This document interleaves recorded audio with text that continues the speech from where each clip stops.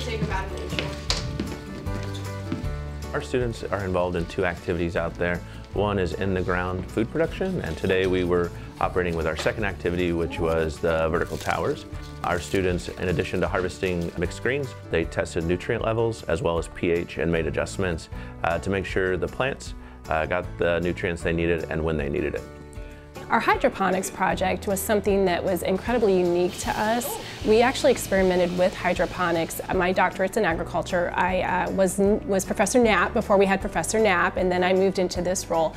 So we had been dipping our toe in hydroponics, but not very successfully. But when Dr. Knapp came, and he had an incredible passion um, and energy around that, and plus we have this amazing facility, the greenhouses, and a wonderful partnership with the Ancilla Farms and with the Poor Handmaids of Jesus Christ, we saw an opportunity with Marshall County Community Foundation to seek out some grant funding to be able to get even further into the hydroponic space. Our towers are a unique system. Uh, the reservoir in the bottom holds just under 20 gallons of uh, water uh, with nutrients in it. It is pumped up through a pump that goes through the center channel in the towers, and then it trickles down and feeds the root systems of the plants. Um, it is, uh, we call it beyond organic because it is mineral based, it is not synthetic fertilizer, and so it fits within this broader concept of the organic goals of the poor handmaids of Jesus Christ and the food they consume in dietary. Location one, uh, the greenhouse, we use very large towers, mainly because, especially through the winter, we are having uh,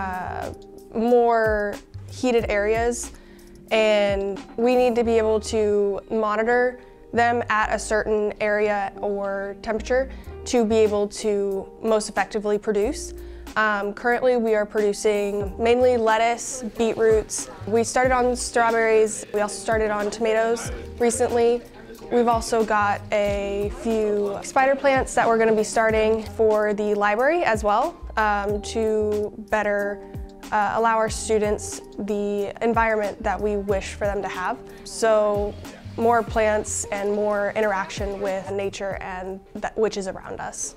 We really like to do a lot of experiential learning here, uh, hands-on work. So everything we do in the classroom, we also do in the same week out in the greenhouses or in our tower room. So the students are doing uh, what they're learning in the classroom. So that's number one. Number two is we want to be very public facing in our approach to addressing nutrition or food insecurity in the community. Um, so all of the partner schools um, are ones we've identified that are interested in engaging their students in producing locally produced nutritious food, kind of more robust conversations about agricultural literacy and food as medicine um, and um, community uh, wellness as it relates to human health. Now the products we produce go directly to the poor handmaids of Jesus Christ. Uh, we share um, the grounds with them. They own the greenhouses.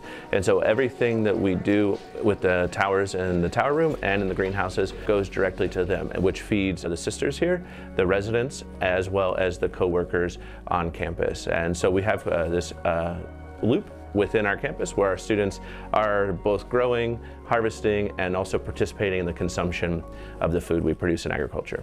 Objective for the experiment is definitely get our agriculture students more involved and more out there in their careers along with being able to impact both our community as a whole for the college and also uh, our mother house which is here on campus but we get about at least like a little bucket full of lettuce that they are able to use in their cafeteria uh, about every week if not a little bit more.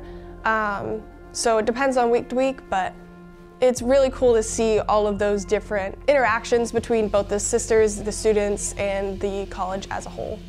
If you want to come and learn by doing, our ag program is amazing for those opportunities. We love connecting the community, the high school students that come visit us, the elementary, we get elementary schools through here quite a bit as well. They love those hydroponic towers, but connecting young people to food especially healthy food and how to grow food is, is, is, a very big passion of ours. And so we just have, have had so many wonderful partnerships and opportunities and um, a lot of great research space and opportunities for our, our, own students to grow as well because they work with those young people when they come to campus. They, they take care of those towers and that green, they help with the greenhouse as well. And of course too, they're learning a lot about data and research methodology too. You said Tower 4? Uh, and so one of the really neat things about the aeroponics towers is it gets us onto the academic calendar. That would be the next thing that I think would be a real need for agriculture um, program is most of the things we're doing out on the farm is when the students are home uh, for the summer. And so um, all the neat things with uh, plant growth and stages of plant growth with corn and soybeans um, is primarily when the students are on summer break. Um, but the, the towers allow us to engage in that crop production cycle all year round because we're doing it in the greenhouses and indoors. We uh, started this as a really, really small project, um, but then we're growing it and hopefully growing it even bigger. We can show not only our students and our professors, but also those who are younger than us to be able to interact with the earth, be able to show what they know to help instead of possibly hurting something.